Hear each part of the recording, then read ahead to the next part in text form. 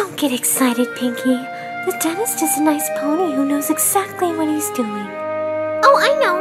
The dentist is fine. I just can't stand injections. Needles are the number one thing I don't like.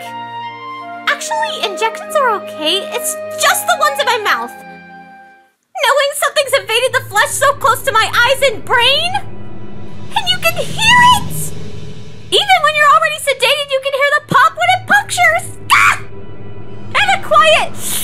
as it slides in further.